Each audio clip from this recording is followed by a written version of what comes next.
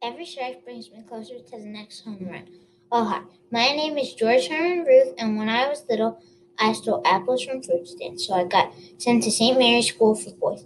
One of the teachers got me interested in baseball. Then in 1914, I got drafted to the minors. After six months, I got signed to the Red Sox. After two World Series with the Red Sox, I got traded to the Yankees. Then, the curse of the Bambino made the Red Sox not win a World Series for 86 years. I got traded to the Yankees in 1920. I played on the Yankees until 1934. Then in 1935, I got traded again to the Atlanta Braves. I died of throat cancer at the age of 53 in 1948. You may know me as the greatest baseball player of all time.